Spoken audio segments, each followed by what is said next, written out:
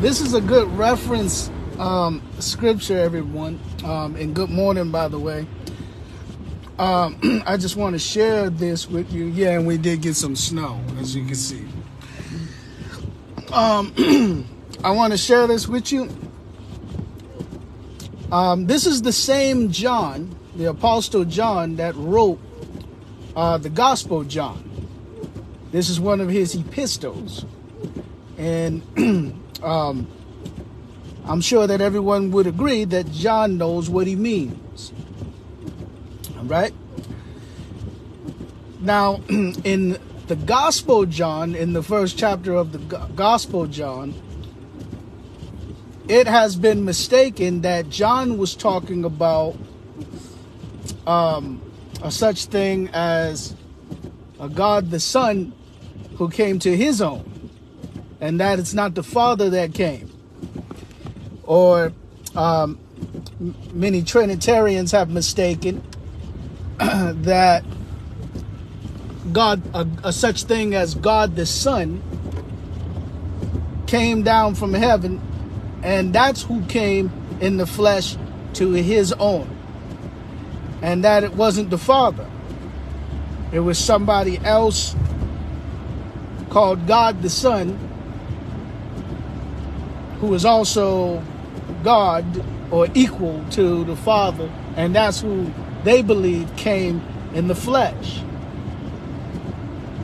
And they believed that by John's, by misunderstanding John's writings in the Gospel John, where it says he came to his own and his own did not receive him and they knew him not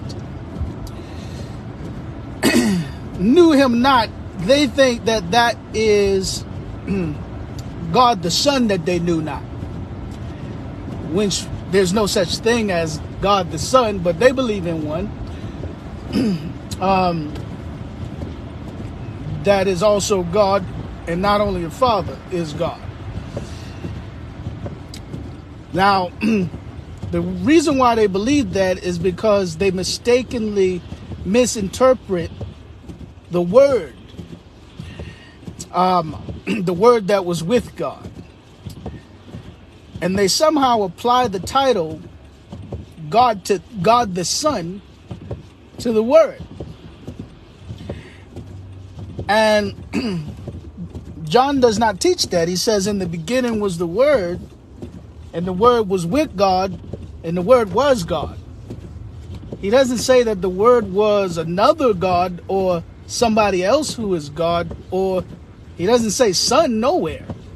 But they misinterpret that and infer the word Son onto it when John never said that, that, that the Word was a Son of anybody. He just says that the Word that was with God was God. In other words, you can say it this way the word that was with him is him. because when God speaks, his speech is part of himself. And his speech is what he created everything with. God said, Let there be, and it was so. There was no other person that collaborated with him in order to make it happen. He just spoke it, and that was it. So that's the word creating. It's not another person in the Godhead that God was working with in order to create anything. God created all things by himself with no assistance of another. Even all the host of heaven, he created them too by himself, and nobody else was there. So, so God didn't have any assistance in creating nothing. He created all things alone. Now, to prove to you that it was the Father that came in the flesh, keep in mind, this is the same John that wrote the Gospel John. Look what he says in um, First John uh, chapter 3, verse 1 through 2. See what manner of love the Father has bestowed on us. Talking about the Father, right? So you see, I'm not making this up. John is talking about the Father. See what manner of love the Father has bestowed on us? That we shall be called children of God or sons of God. And then it says, speaking of the Father, that the world receiveth us not because it knew him not, right? I'm paraphrasing. So the one that they knew not is the Father. So now that you know that John is talking about it's the Father that they knew not, then you can go back to the Gospel John and understand that everything there that the same John said, he's referring to the Father. So it's the Father that came to his own. And his own received him not. And his own knew him not. not. You see that? this scripture parallels with the Gospel John. And you clearly see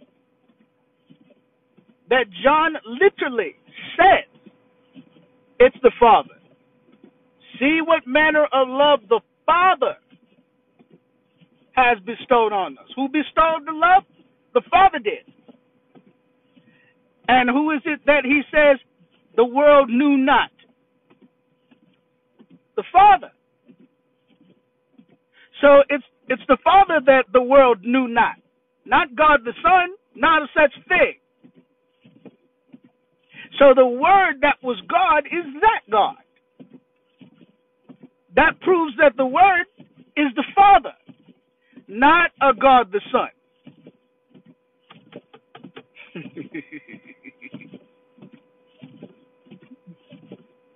because you have to admit, he says that the Father's the one that bestowed the love. See what manner of love that the Father has bestowed on us, that we should be called children of God. And then he says, the world knew not the Father. Talking about the Father. Knew him not. So that's what John, that's who John was referring to when he said the world knew him not. With that understanding that he was talking about the Father, now you can go back to the Gospel John in chapter 1 and read it and understand it. That when it said he came to his own and his own received him not, the one that came is the Father. so it's the Father that came to his own by coming in the flesh.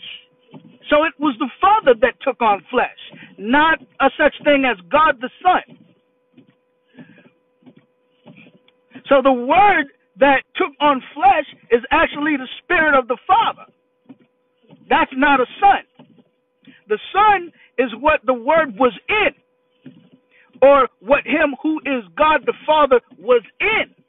That's the son. That's the flesh. But but the God that came to his own and his own received him not and knew him not is referring to the Father. That's very clear. This is the same John that wrote the Gospel John. He also wrote the epistles. You see? This is the same John that wrote the book of, of in Revelation. Same John. And that same John calls God and the Lamb him in uh, uh, Revelation 22 and 3. He sees the Father and the Son as one person.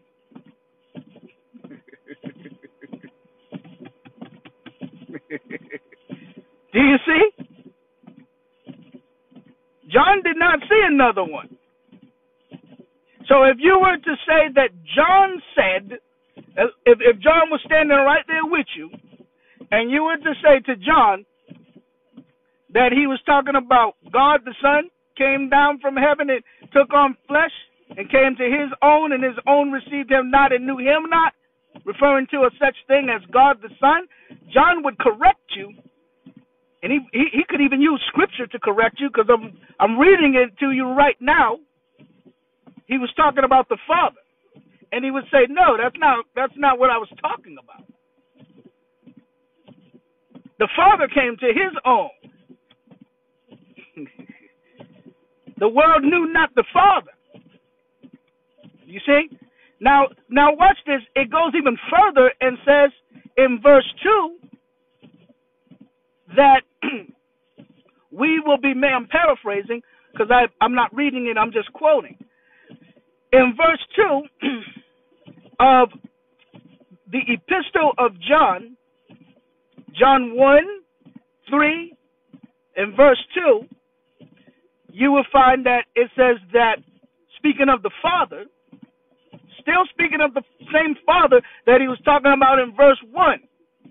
He's still speaking about the Father, and he says that when he comes when he comes back, we should be made like him.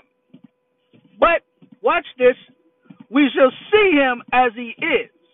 So the one that's coming back is the Father that's coming back, but we go, we're going to see him as he is. How is he then? He's in a body, and that body is called the Son of God. So we're going to see the Father appear in a glorified body, which is called the Son of God. And that glorified body is the same body that we're going to have and will be made like his body, like him in the body. It's not that we're going to be made into God, but we're going to be made like Him according to how He appears in the flesh or in the body of the glorified body, which is the Son of God. So the Son of God is God's body. That's clear. The one that's going to appear, John says it's the Father. But the way that the Father appears is in his body, which is the Son. so the Son is not another person. The Son is the body of the Father, and that's how the Father appears. He is the image of the invisible God. You see? Different than how Adam was created in God's image and likeness. No, Adam was created in God's image and likeness, but Adam wasn't the image of the Father. He's created in the image and likeness of the image. Image and likeness. So they share in common that image. But the image that Adam was wasn't his wasn't the father's own. The difference with Jesus is he's the Father's own image. His body is the Father's own body. Adam's body wasn't the Father's own. It was just a body that was created in the image and likeness of uh, that reflected uh, the humanoid look, which God also has in spirit form. But the Son of God is actually God's own body and God's own image. That's why he can show up as the Son, and that is identified to be him. Because the body and the spirit are one.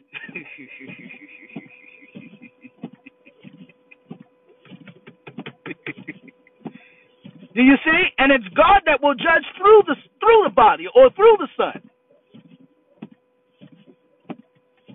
Do you see it?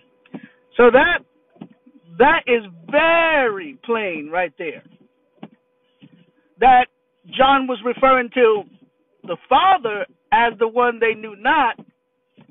So now that you understand that the Father is who John was talking about, is the one that the world knew not, Now you can go back to the Gospel John and read chapter 1 all over again with the understanding that John was talking about the Father.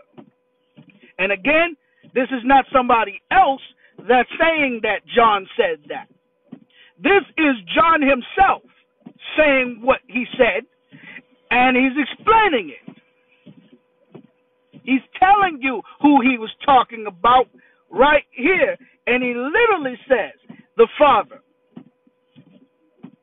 See what manner of love the Father has bestowed on us that we should be called children of God or sons of God. The Father bestowed that love. And the world knew not him, knew not the Father. So it's the Father that came to his own. That makes sense because um, it says that he was in the world and the world was made by him. It makes sense that the Father created the world, and that's the one who was in the world he created. That's who came in the flesh. There was no other God with God. there was no other God person with God. This this is so clear. This even clarifies that the word that was God is that God. because it's the word that came to that that that came became flesh, right? The word was made flesh, right? And uh, Trinitarians have that word mistakenly interpreted as God the Son, like a spirit son that was up there in heaven with the Father, and that the Father sent a spirit son um, down here to take on flesh for him, and that a spirit son is actually the one that redeemed us. So, so Trinitarian world has a spirit son. They have the word misinterpreted as a spirit son. Some of them even say eternally begotten, which really don't make sense, because begotten means began.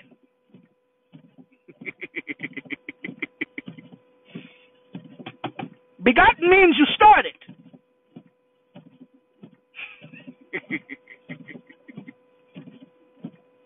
You can't be eternally started. If you're eternal, you don't start.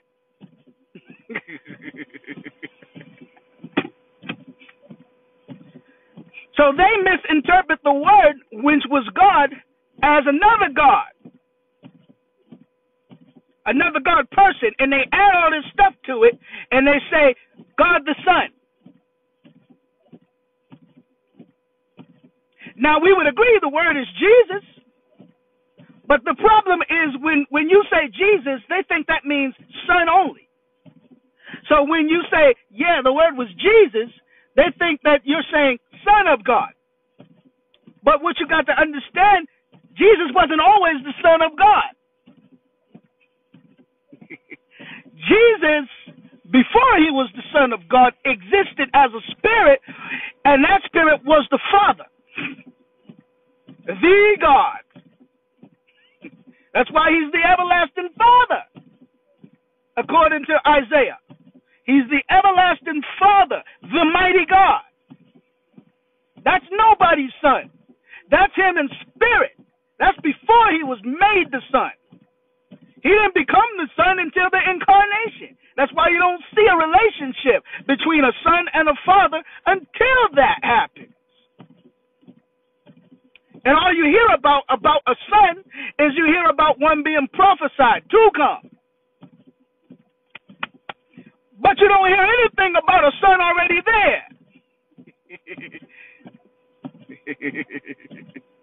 Neither do you ever hear a son say something to the father in the Old Testament. Neither do you hear a father say anything to a son in the Old Testament other than Israel. Israel was his son. That's who God called his son back then, a nation.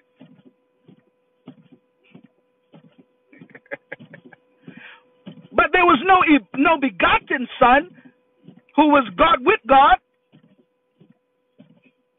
That doesn't even make sense when God said, There's no God with me.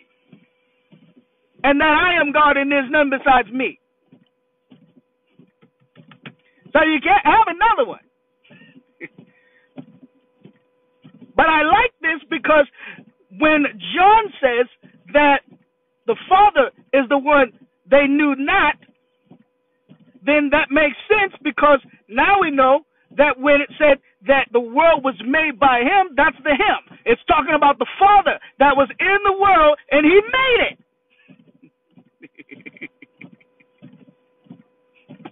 he was in the world and the world was made by him. Not a son was in the world and the world was made by a son.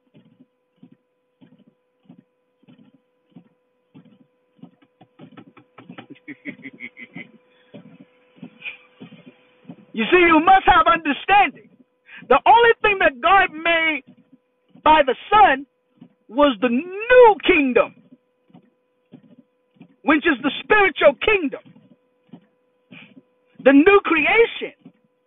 Because God came in the flesh as the Son and did the work as the Son, and as the Son created a new creation in Christ Jesus.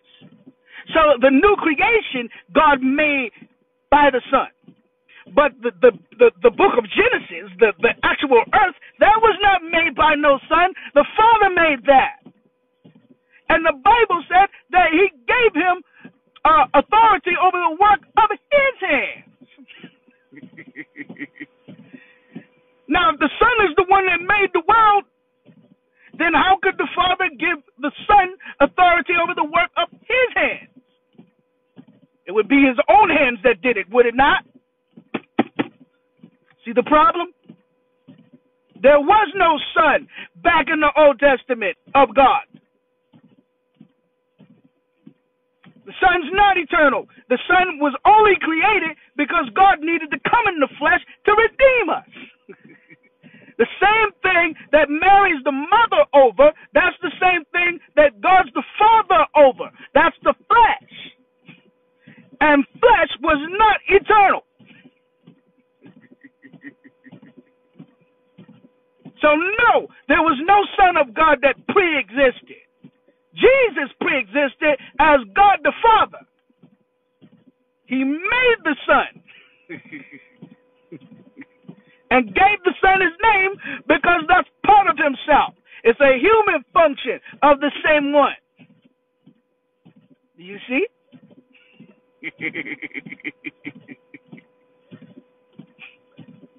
The Son of God was under God.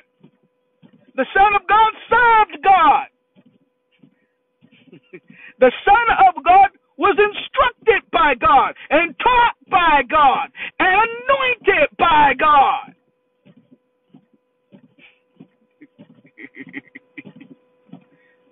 so the Son of God is not God. The Son of God is a humanity of that God yes, is part of himself, but it's not a divine part. As in another God who's with God. Otherwise, he would need the Father's help. The Father's Spirit would not indwell him if he's God all by himself. or if he's another one who is God, or another one who's equal to God, he would need the Father's Spirit to anoint him. He needed the Father to anoint him. and he was taught by the Father. God can't be taught by nobody. nobody teaches God.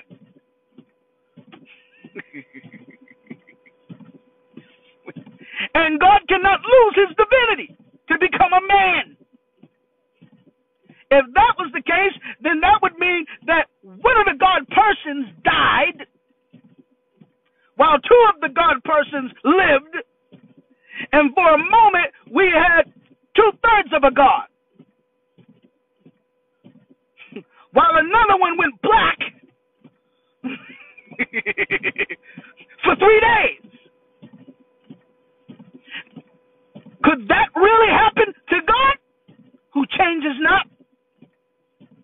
No, God never died. His flesh died. His humanity died. The Son died.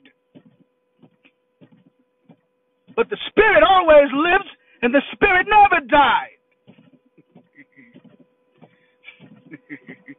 so anybody that tells you God died knows nothing about what they're talking about because God is a spirit who can't die.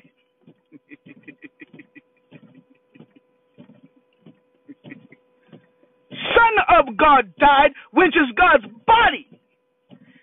Yes, it's an extension of himself, but it's a, hum- a human extension of himself that he created, susceptible to death, in order to redeem us and in order to have the sacrifice. And in order to make the perfect sacrifice, he created his son in a way that he could die. So the son is not divine, the son is not eternal, the son is not God, the son was a man that was able to die. and he did die, and it was the spirit that raised the son, not a son that raised the son.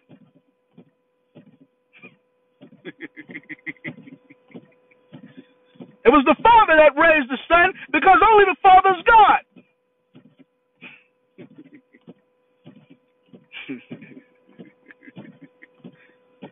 So, no, there's no Trinity. No, there's no God the Son. No, all of that's a lie. The only God there is is the Father, and that's who came in the flesh. Again, he came to his own, Watch this. Again, the world knew him not. See what manner of love the Father has bestowed on us? That we should be called sons of God? Who did that? The Father. Look at what I have posted there. Read it. See what manner of love the Father has bestowed on us. Now, who does he say that they knew not? Does it say they knew not God the Son? They knew not the second person of the Trinity? Does it say that? Or were you taught that lie? That there's another one. with the one. See, we as oneness, we don't believe there's another one with the one. we believe that there's only the one. And that the Father is that one. And He is God, and there's none besides Him just as he said. so who is it that John said the world knew not? Does he not say it's the Father? Do y'all not see the words Father there? In verse in verse two, in verse one. Do you not see the words Father? And does he not say that the world knew not the Father? So, so John was talking about the Father the entire time. That's the same John that wrote Gospel John.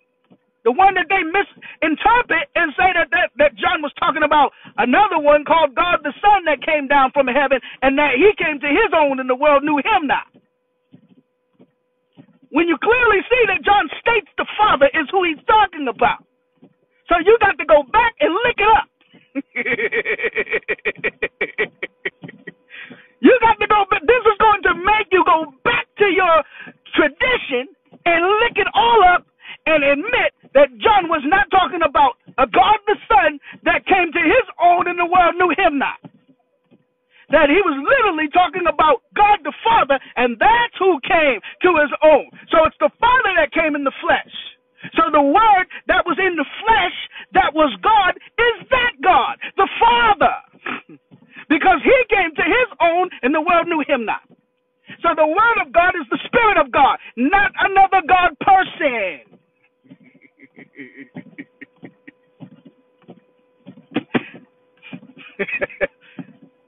Do you see? So John's not talking about a second one when he says the word that was with God was God. John is talking about an expression of the first one and the only one. That's who came in the flesh. And he was in the world, How? In the flesh. God in the flesh. The Father in the flesh was in the world, and He's the one that made it.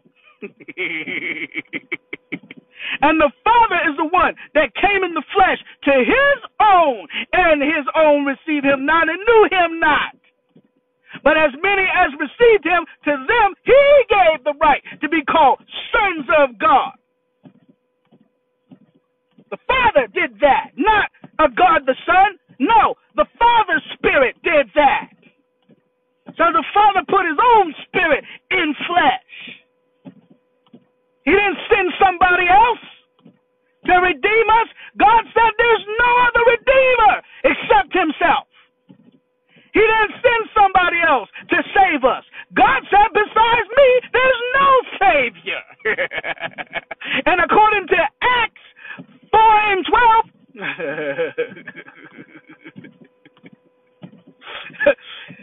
there's no other name given to man that we can be saved by other than Jesus. and and not only no other name, it also said, neither is there salvation in any other. so if Jesus is not the Father and there's no salvation in any other, but yet the Father said he's the only Savior and there's none besides him, then that would make the Father a liar, would it not? Because if Jesus is somebody else and the Father is somebody else, but yet there's no salvation in anybody other than Jesus, according to Acts 4 and 12. then Jesus has to be the Father. There's no way around that.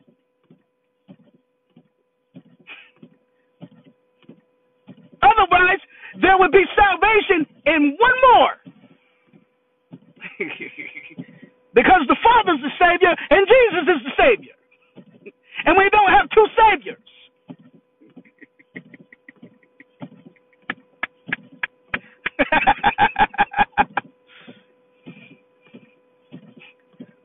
so all we have, and the only thing that could make sense, is that the one true God, the Father, is Jesus. Jesus is the one true God, the Father, who came in the flesh as the Son and redeemed us and saved us working in his body.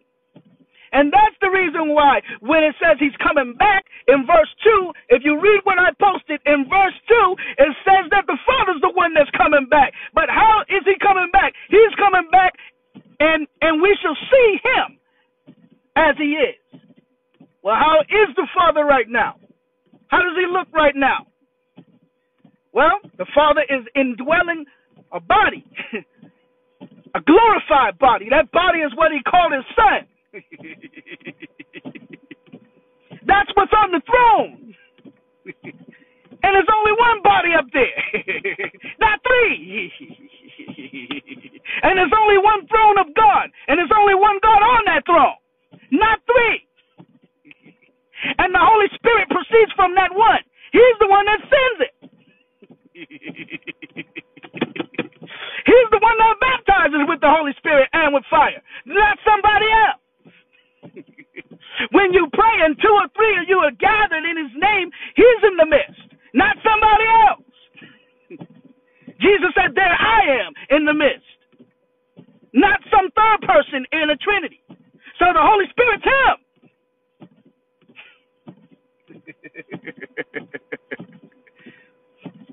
Jesus breathed Receive ye the Holy Ghost. Oh, but the Holy Ghost proceeds from the Father. Why is it proceeding from you, Jesus? Receive ye the Holy Ghost. Jesus is the Father.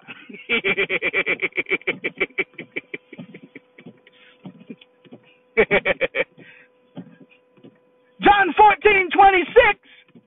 Compare John 14, 26 with John 15, 26. And you'll see that the Father will send the Holy Ghost you will also see that Jesus will send the Holy Ghost. We don't have two that send the Holy Ghost. Jesus is the Father, and the Holy Ghost is His Spirit, and that's Him pouring out of His Spirit, and He's the only God.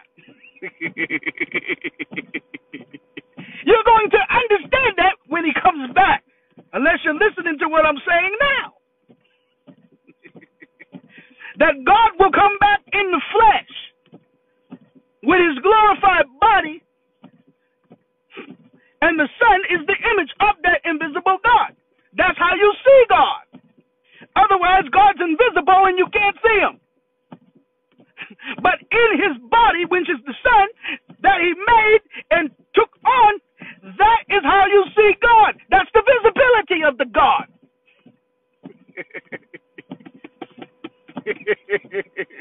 and the spirit that's in the visibility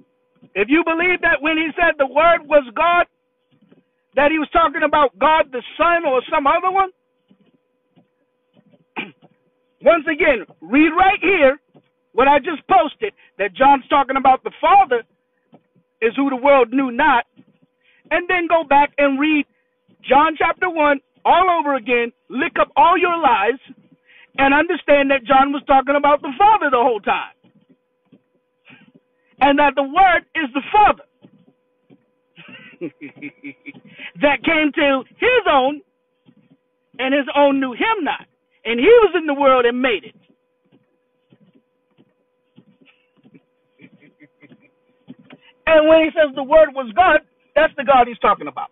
The Father. God the Father. So the Father's word was with himself, just like my word is with myself. And when I speak my word, my word is sent. Likewise, the Father sends his word.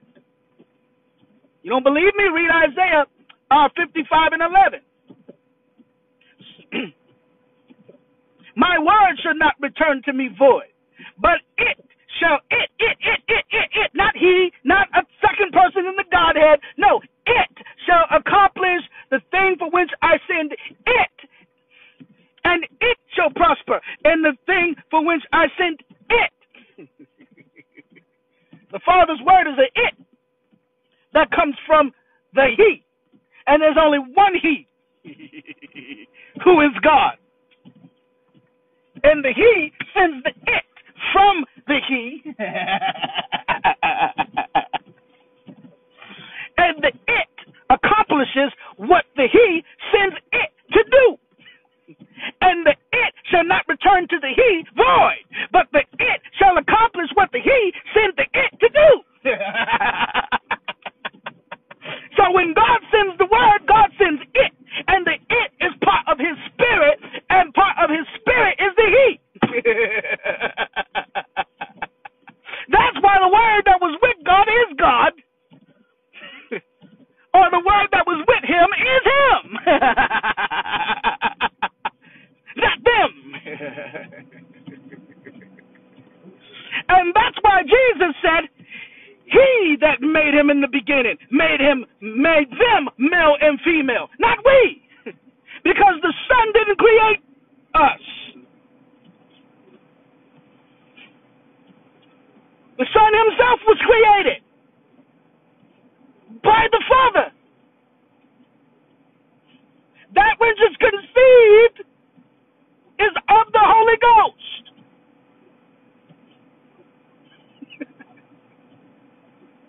the Son of God is the Holy Ghost's child.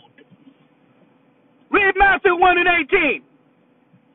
He is literally called the child of the Holy Ghost.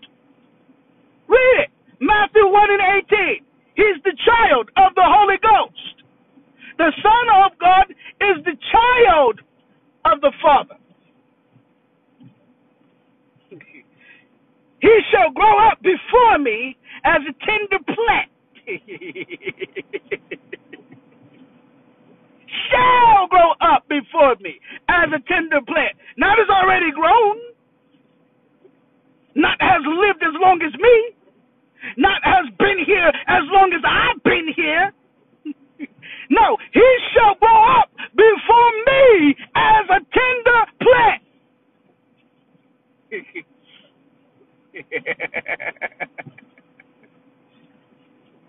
the Son of God was a baby that grew up.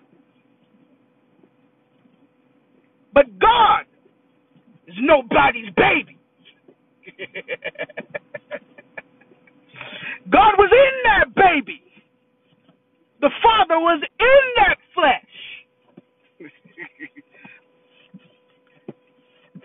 now let me make it a little more clear. The Father was in his flesh.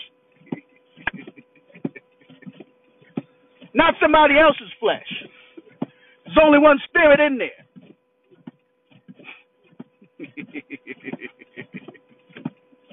only one spirit in there.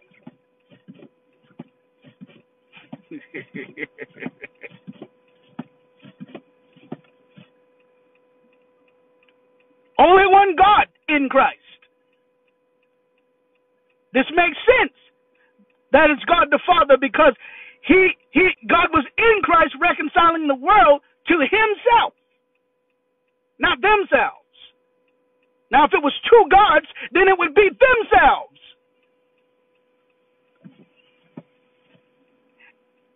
And if God was three persons that agree as one God, then that would mean that we was only reconciled to one third of a God. That only one one God person reconciled us to himself. Well, how do we get to the Father? We do we need to be reconciled again?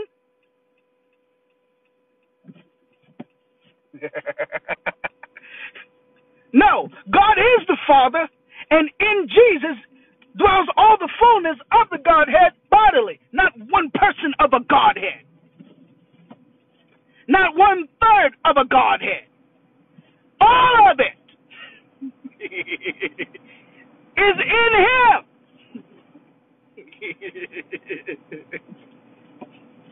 now, if Trinity was true, then He would only have one third of it. But no, the Bible says, for in Him dwells all the fullness of the Godhead bodily, and further says, and you are complete in Him, not them. Only one to be complete in, and that one is Jesus.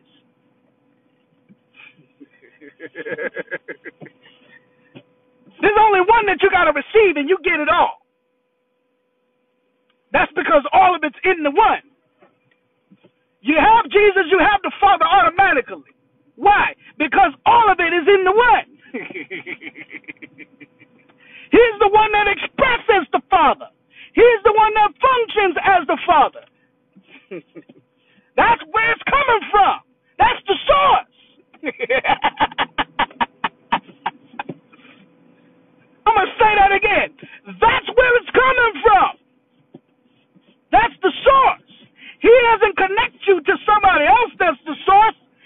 That's where it's all flowing from.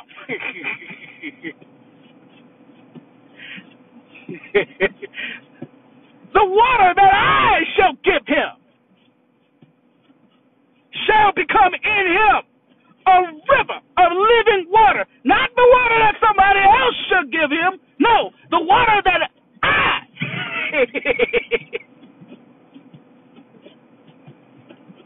Jesus says, I, the water that I shall give them,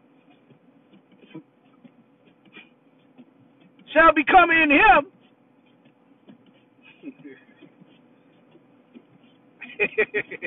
a fountain, a river of living water, springing up into everlasting life. Who's going to give it to you? One alone is going to give it to you. Three is not going to give it to you. One is going to give it to you.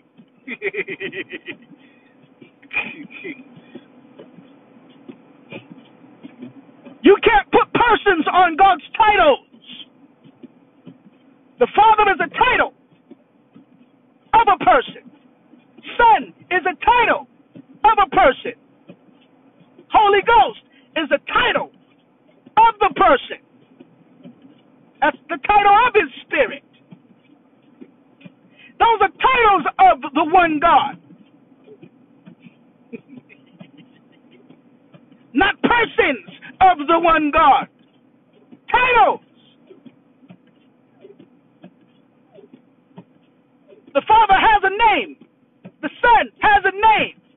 The Holy Spirit has a name. But it's not three names. it's the name of one. Jesus. and it's not three Jesuses. Because there's only one Savior. and none besides the one. That's why if you reject Jesus, you reject the Father. Yeah, that's the Father. you see him as the Son. Because that's how he manifests himself